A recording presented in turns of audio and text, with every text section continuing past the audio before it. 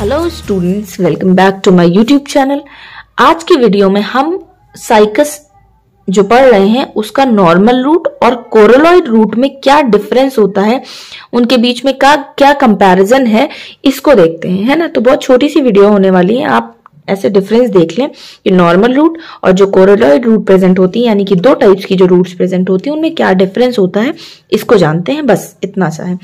तो सबसे पहला पॉइंट आता है कि नॉर्मल रूट हमारी जो है वो डेवलप किससे होती है? From radical tap root system होता है, और कोरोलॉइड रूट जो है वो हमारी किससे डेवलप होती है? Develop from the normal root इसी नॉर्मल रूट से ही कोरोलॉइड रूट डेवलप होती है। इतना समझ आ गया। ये कैसी कंडीशन है? जियोट्रोपिक कंडीशन है। ये कैसी कंडीशन है? एपोजियोट्रोपिक कंडीशन है। ठीक है? सच कैरेक्टर्स आर एबसेंट कैसे कैरेक्टर्स नॉर्मल रूट में कुछ कैरेक्टर्स एबसेंट होते हैं। कौन से वाले कैरेक्टर्स एबसेंट होते हैं?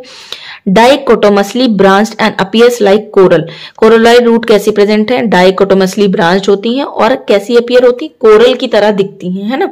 लेकिन नॉर्मल रूट में ये कैरेक्टर्स एबसेंट होते हैं, ये नॉर्मल रूट जैसी होती हैं, वैसी ही दिखती हैं।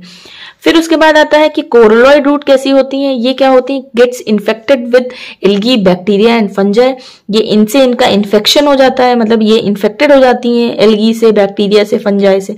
लेकिन नॉर्मल रूट जो है, कोई इन्फेक्शन नहीं देखने को मिलता सच इन्फेक्शन इज़ एबसेंट ठीक फिर उसके बाद इसमें क्या है? इसमें कोर्टेक्स नॉर्मल रूट में स्मॉल होता है।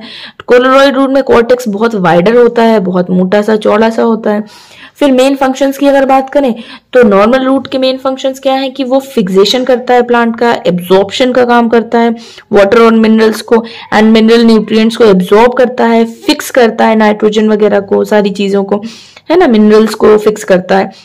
और इसका सिर्फ़ मेन फ़ंक्शन है कि नाइट्रोजन फिक्सेशन का काम करता है। फिर नॉर्मल रूट में सेकेंडरी ग्रोथ हमने देखा है है ना? अगर नॉर्मल रूट डिटेल में पढ़ना है तो मैंने अपने चैनल पे वीडियो बना रखी है। तो वहाँ पे आप देख ले कि सेकेंडरी ग्रोथ कैसी है। इसकी, इसमें सेकेंडरी ग्रोथ देखने को मिलती है और इसमें सेकेंडरी ग्रोथ एबसेंट होती है। तो ये हमारी बहुत ही छोटी सी वीडियो है। सिर्फ़ इतना है कि नॉर्मल रूट और कोलोराइड रूट में क्या डिफरेंस है, उनका क्या कंपैरिजन किया गया है, इतनी सी चीज़ें हैं। ठीक है? तो वीडियो अच्छी लगी हो तो प्लीज़ वीडियो को लाइक करें, शेयर करें और मेरे चैनल को सब्सक्राइब करें। Thank you.